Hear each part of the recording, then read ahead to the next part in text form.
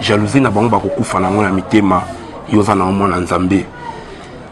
bowelani na ye tokotanga nkombo te mpona tofula ye bowelani na ye mpona ekoma ti na makambo bakangisa yo bakende kofunda yo bowelani na ye yo moto alaki mabe to bia ye moto aa mabe bon ye moko nde moto akoyeba nga mpo na ngai nazalaka na problème na motu te omoni ezaka jalousie nketo moninga asala eloko na ye omoni ke esimbi yo mpe olingi ke osala oluka baproblème me yo nde na bakoko sala eloko na yo eza mokili ya tata nzambe lelo soki batindeli nga 800 personnes na journée donc okosilisa bango te yo mpe sala eza bi ya contribue to contribue nombre ya bato baobela ya sika lisusu makambo ya danger lisusu ebotami bitv 3 chaîne te chaîne se youtube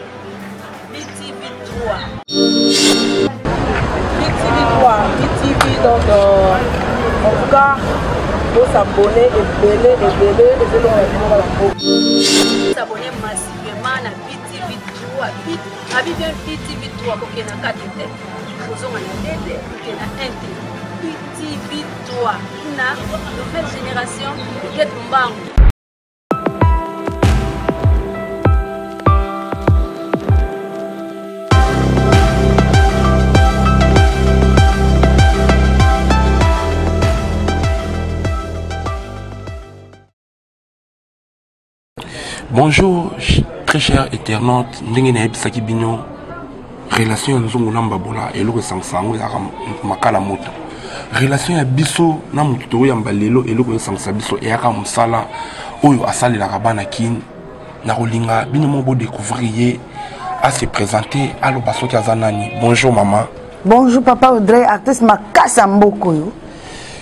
mama kombo na yo nani bana poto bana partout baolanda bayeba bana poto nalela bino ya trop ezanga mama la reine mwana mongala mokonzi ya cimenterie ya beton mama la reine balobi me yo oza ingrate moto alakisa yo mosala oyo abimisi yo lelo komi koboya ye nani yango alakisa yo mosala tanga na kombo bato bayeba moto alakisanga mosala eza mama na nga pasifiki otongi ekila ye batongaka ye te ngai nazali sixième génération na mosala oyo mama na ngai aza cinquième koko na ngai ye ntango akoti libala azalaki na 12 femmes akutaki bambanda 12 ye azalaki 11 ye azalaki lokola 12e personne ntango akoti libala akimisi 11 atikali ye moko ndenge mwana mongai naye na produit na ngai produit kimisa mbanda yango wana omoni makambo eza kaka moto moto aforma nga mama na nga pacifique eyotongi ekila aza mpe na bomo na kowanga ye te respect sika mama na nga azali mama oui c'est vrai lelo mosala ezosalama biso moto touti wana na cabinet plein à craquer babi mwa lititi ya na se te bon lititi vraiment eza nini lititi ezali ke kisi na yo ozotekela bato ezala nde ya vrai parce que témoignage na tv elobaka eloko te témoignage eza ndeke epesa moto kisi moto abika donc lititi na ngai ezali moto oyo azwi beton ye akei aye na 5 personnes donc eyindi mabe bamosusu bakosikosi bato trop soki nga mwana mongai naye na biloko na ngai nde ya original yango omoni plein wana ezosala babiki oyo lititi soki ngai nasimbi lititi avoka yo mpe kende kosimba no lititi epina mama me bandeko misusu baoloba bango bakendaka vraimen na source na mboka vraimen bapiki me basaleli bango bakisi eye awa na kine me yo okosala babiloko yango nayebi te soki yo mpo okendaka na mboka mpo na kosala mosala yango eya a na kin eza ndenge nini mama la reine bon ngai bakisi na ngai ezowuta na mbandaka na mbandaka okoti na jombo jombo injolo eh? ekoti na injolo kuna baona oloba bakinois baza bana ya mbandaka koto bokoyeba esika bakisi ezowuta kuna esika bacua bazali batya wana basalaka biso bilanga esika bakoko banoko baza na mboka nde bakisi na nga ezowuta kuna batindi yango ekomi na mbandaka mbandaka bafrete yango na avion nde nake kozwa misusu nakundi na se mabele misusu nalatisa yango na kati ya batono na tie mai mpo ebeba te mama la reine seke bino nyonso boutilisaka na bino kaka biloko ya, ya équateur ya bapigme ya bachoi nalingi nayeba relation ya yo na bandeko misusu oyo mpe basalaka mosala oyo ezalaka ndenge nini bon ngai naza mwana forêt équatoriale depuis totanga na classe babi zamba moko te ekokani na forêt équatoriale na monene ngai nazali mwana mbandaka bamisusu nde bazwa nde kozwa bakisi epai na biso biensi na wangani te me ngai moko siko nde kolo mabele hmm. ngai nde moto nakolakisa bato ke tala oyo sala boye sala bo mosusu akoki koyebaka nga mosusu kasa moko ezobikisa maladi moko me ngai nayebi ke kasa wana ezotraite 4 sorte ya maladi kaka nde balobaka na verbe bawelaka mbetu na mopaya te yo oza kolo ndako bango baa bapaya na bagénération nyonso oyo oyebi na mosala oyo basalaka mosala oyo ya bokoko malamu malamu nani oyo ondimaka tangela biso ata mibale banani oyo ondimaka oyo mpe baleki yo na mosala oyo bon mpo na ngai nayebi ke ba, bango na ndima mpo baza bamikolo na ngai ke babandi mosala liboso baza bayaya baza bapapa mai na kota traitement tuka ngai nde kaka nde number one mpo ngai nde moto nazobikisa bato mona moto awuti kuna esimbi te mai ye epa na ngai mbala moko changement donc nazomonaka ngai nde ka moto ayamba malarene mai ye aleki yo bon, natanga komona ye tanga natanga oyo oyebisa ye ngai na kabinet ye aleki yo bon oyo nayebisa tanga bana poto naboyi nanga kotanga naboyi nanga polémique bomoto yango ngai nayebisaki eza kaka mama na nga pacifique yo tongi te oyo oyo oyo ma mère alobaki ye wana mama na ye pacifique oyo aforma ye na mosala ah, naboyi ye nde aleki ngai ye alobaki ah. deux personnes kaka baleki ye ye na jésus christ ah. baleki parce que ye mayele jésus christ moto apesa ye bandeko na ngai bana poto bopesa n'importe qui confiance te parce que lelo bato ebele babebisi mosala moto mosusu omona aza na ye monganga te omoni ndenge alati teni oyo aza monganga forme ya monoko te ya bilobaloba te yo otraitaka bato est ce que oyekola mosala wana bien olataka eloko oyo na dontologie médicale soki otanga classe te okoki kolata eloko oyo te mama la reine lelo oza ko se retrouver na mosala ozosala mais mosala nazosala nazo se retrouver kitoko hein? parce que eloko ezo ede nga mingimingi bato bazolinga nga parce que naza nanu corps médical naza médecin nabotisaka nasala makambo nyonso donc ntango nayambi moto na kati ya kabine na nga nazo consulte ye nayebi mesure ya kisi nini nakopesa ye donc ezo répondre mbala moko do ezosimba parce que blouson oyo balataka yango te na dontologie médicale soki oza corps médical te donc oyo akolata blouson sanki atangela classe wana tokangaka me ngai ndenge nalati boye natangela yango naza bien formé na université catholique na mbandaka natangi na école de serre ekola bamasai na lycée elikia donc naza bien formé ndenge ozomona nga boye bien formé susu na bakoko epa mama na nga pacifique otongi ekili ozokumisa mpe mama pacifique yango trop trop reconnaissance eza bien na vie mm. fo kozala reconnaissant mama la reine mwana mongala ya solosolo oyo ayebi mosala mama bayebisi ngai polemiki te tolobaka mpe verité pourquoi bayokela ko jalousie kasi bazokela ngai jalousie mpo mosala ezosimba mpo koko na ngai azalaki sage femme azobotisa basi na mboka ata 30 personnes na journée kasi atanga ata premier primaire te donc ozomona eza likabo moko boye nde nzambe atindaka kati na biso lokola ndenge babandaki koforme biso depuis tozalaki bana mike nga ntango nakona bi te mama lokola nga nazobikisa bato mpe na bakasa boye ifo kota na istem mpo nayekola mpe na ya monganga na ya bokoko sikoyo loko omoni nazotraite bato nazosangisa ezosimba papa audrey yango likuni ekoti wana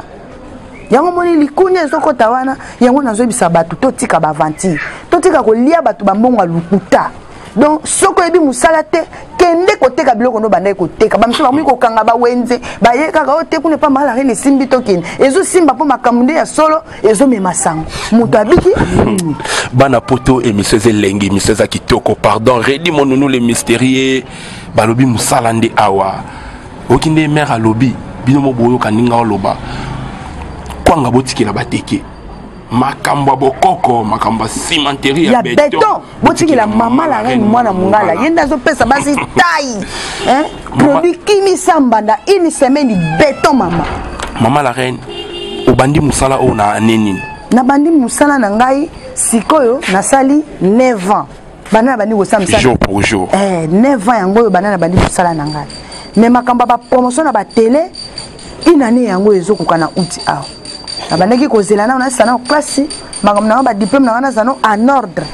nde omoni ezwaki nga mwa tame na tebe sikoyo lokola makambo eleki ebele nde nakoti sikoyo na visibilité ya média parce que baparisien bazobenga banani baobenga ye sikoyo motu tu ayebanga si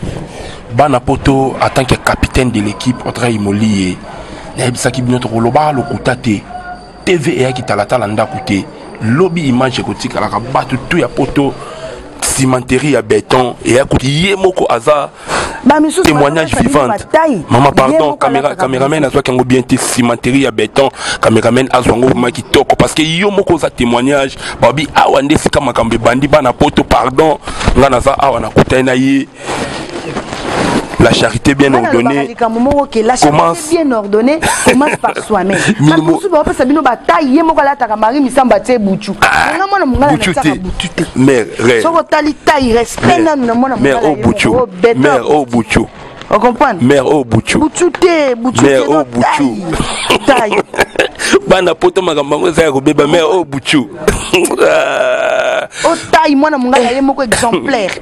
la charité bien ordonnée commence par soi-même bamosusu bapesa bino bata ya lokuta aokosa bino o oh, mwana mobali azotraite yo tai yo somoni mwasi na ye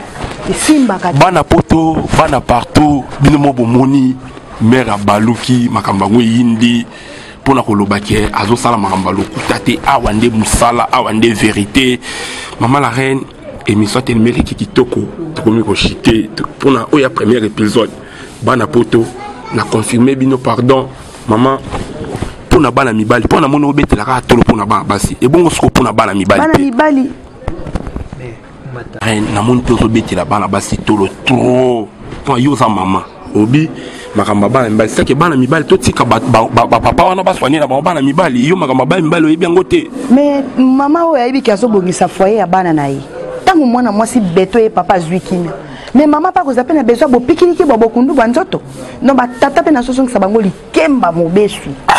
donc tata ntango aza likemba mama mpe na beton harmonie ekoti na ndako kimia donc ngai na batata nazozongisa bango bopikiliki bwa bokundu bwa nzoto ata mokongo ebukana o trois parti ngai nasembolaka nde kolone nasemboli yo koloni nakomisi yo bopikiliki bwa bokundu bwa nzoto lokola likemba mobesu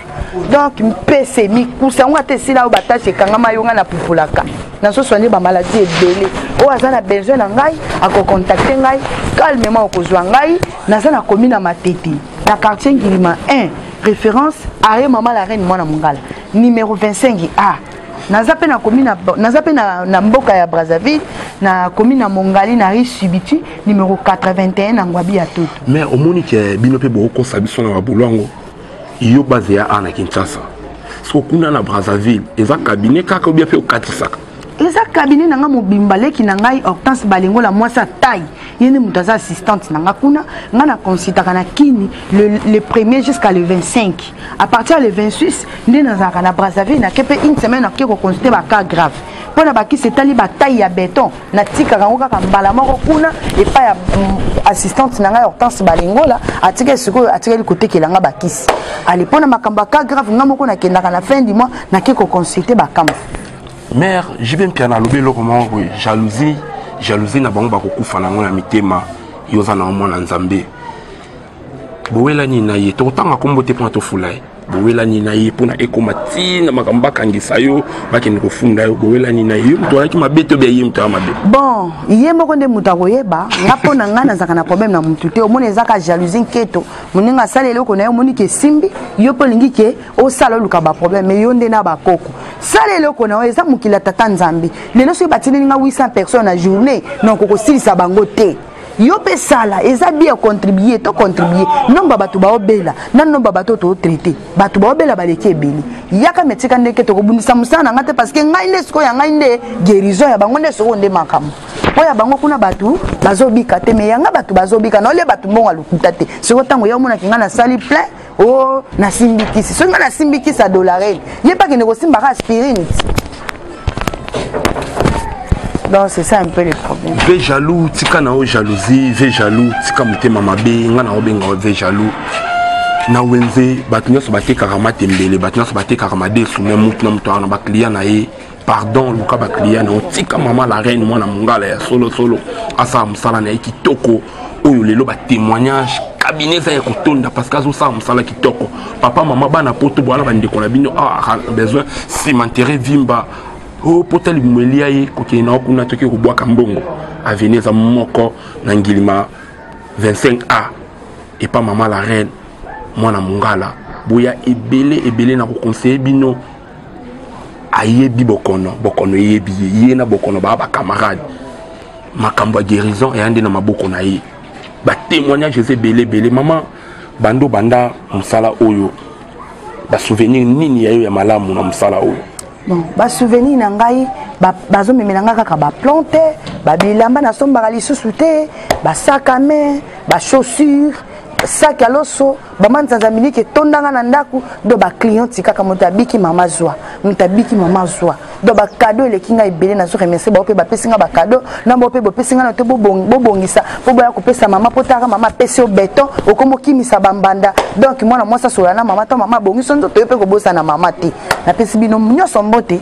nalingi bino mingi mare tokomi kochite vers la fin bato nyonso bolingaka btv 3 image bolanda kaka chaîne ya monene oyo mama la reine message nini ya suka oyo okoki kopesa oyo biso totuni yo question te oyo bandaki kozela totuni yo question totuni yo te message nini ya suka oyo okoki kopesa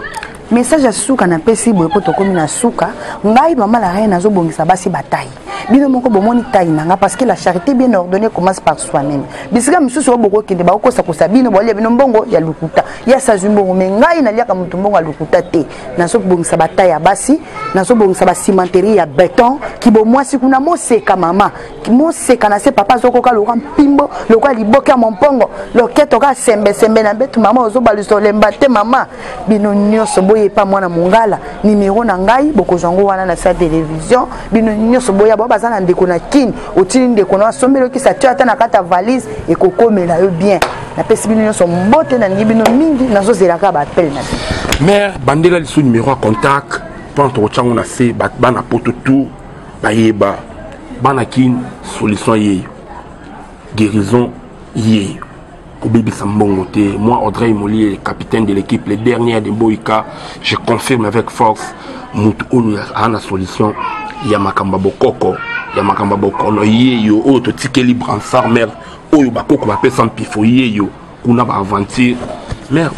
mwa keso mwa moke elingai osangisaka bakisa mindele na ya biso awa obi osalelaka kaka bakoko na biso awa bon nasalelaka kaka bokoko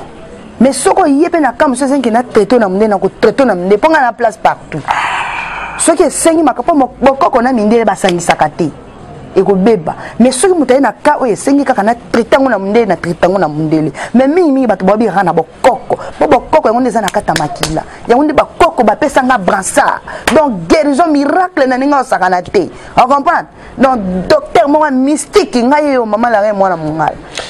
Maman la reine, tokomi koshite, namoni awa na epilepsie, infection, urinaire, énergie, prostate, tangela biso na ba malade oyo soignaka bana poto, bayoka ngo rapide rapide. Mm. Moto mosusu akozala na poto kuna azobika te mais azalaka mpe na chance ya kokita kin.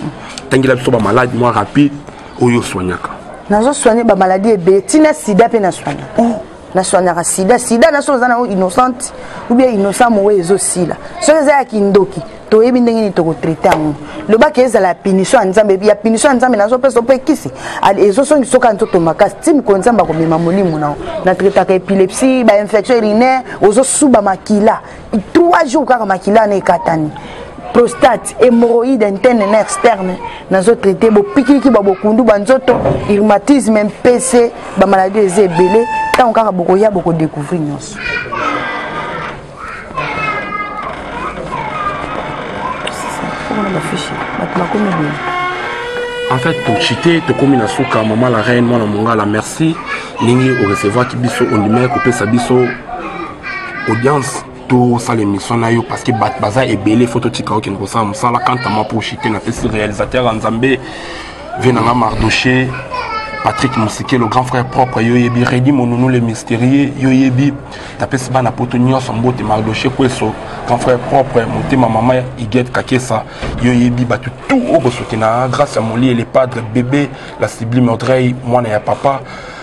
Maman Olga Wabaluku, Maman Sese, na pesi bino nyoso mbote, Mboshilo Kinzonzi, les grands réalisateurs, motema Maman Ornella Kinzonzi, Poudre de chasse, motema Merveille Tumba, na pesi bino ba mbote, BTV Ima, BTV 3,